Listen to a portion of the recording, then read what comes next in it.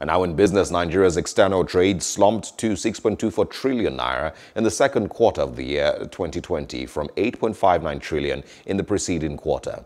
The National Bureau of Statistics NBS said on Wednesday the figures represent a 27.30% decline within the period under review, the statistics agency noted. According to the Foreign Trade in Goods Statistics uh, Quarter 2 of 2020 report released by the NBS, the nation recorded a trade deficit of 1.